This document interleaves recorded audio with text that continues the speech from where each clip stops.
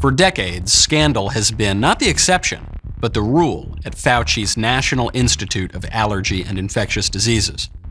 In 1991, the Office of Government Ethics investigated Dr. Fauci's NIAID for ethical violations pertaining to government employees moonlighting in private industry without proper oversight.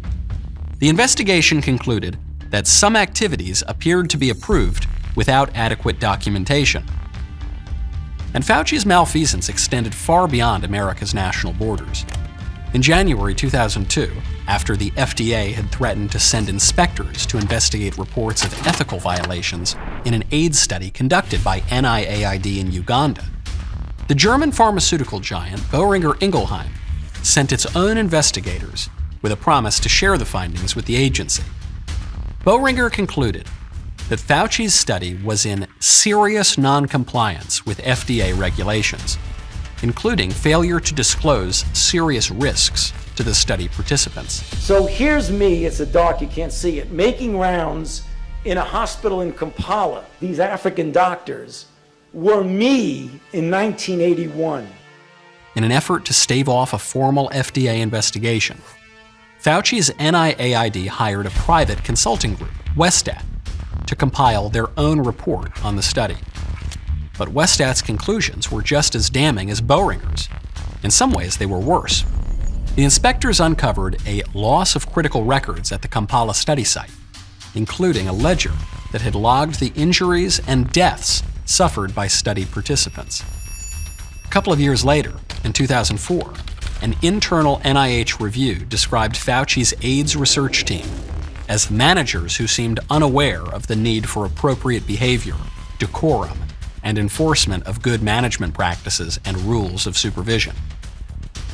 In 2005, an Associated Press review discovered that Fauci's agency had funded research that tested AIDS drugs on hundreds of foster children. At least 10 children died, and while the researchers refused to attribute the deaths directly to the drug they were testing, they had to admit that overall mortality while receiving the study drug was significantly higher, and that this finding remains unexplained.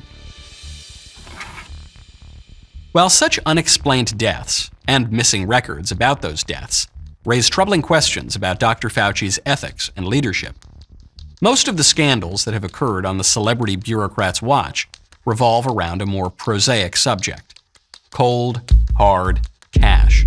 There are going to be resources that are going to have to be forthcoming to be able to implement the kinds of things that I think are going to be needed.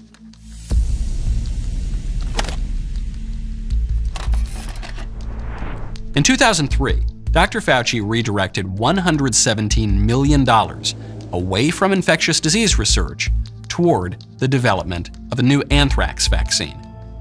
The following year, Fauci directed a whopping $5.6 billion appropriation for bioterrorism research as part of Project BioShield, which was, at that time, the largest single issue spend in NIH history.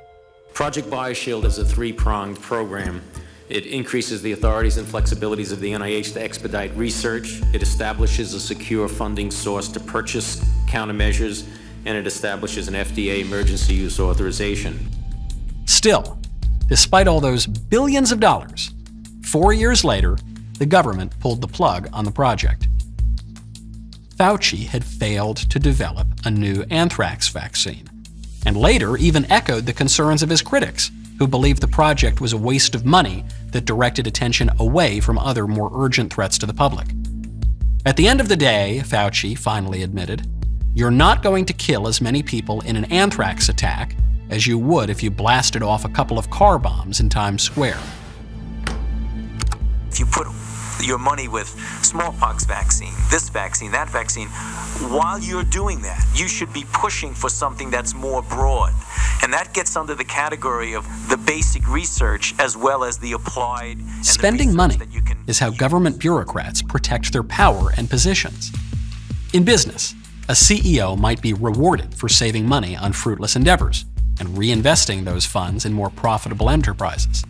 In administrative government, saving money just means you get your budget cut.